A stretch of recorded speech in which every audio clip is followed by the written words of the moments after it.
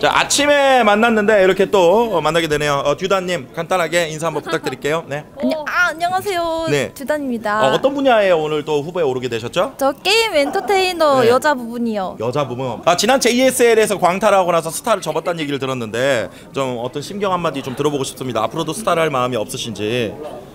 없다라고 알겠습니다. 왼쪽에 계시는 분은 고모님이신가요? 아니요, 제 네. 친구입니다. 아 친구 네. 일반인이시 아 반갑습니다. 우리 듀단 방송하는 듀단 보면 어때요? 자랑스럽고 할 것 같은데. 아유 너무 좋죠. 네. 우리 다니가 돈도 많이 벌고 그렇죠 그렇죠. 맛있는 것도 사주고. 어, 나도 뭔가 BJ 하고 싶다는 생각이 좀 들 것 같은데. 아유 저는 네. 나이를 많이 먹어서 나이를 많이 먹어서 좀 나중에 다시 그래도 한 태어난다면 42살 정도로밖에 안 보이는데요. 어이구 뒤질래요?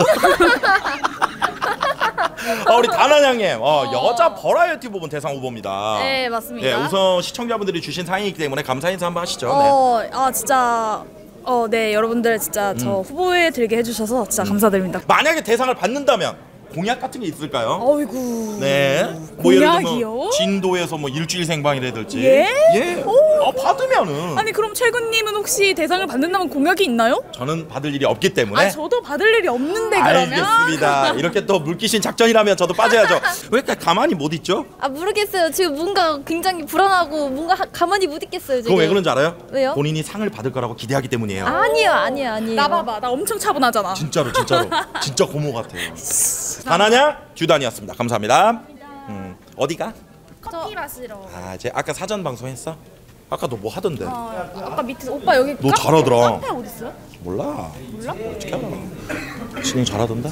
내년에 MC 보면 좋겠다. 어, 내년에 같이 보면 좋겠다. 그치? 아 그러게.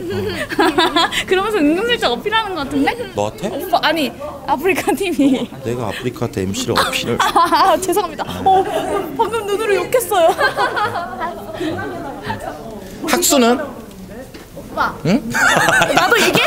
자, 본인은 올한해 해온 방송 중에 예, 이건 참 잘한 것 같고 아 이건 진짜 좀 후회된다. 아 good and bad 포인트를 찝자면요.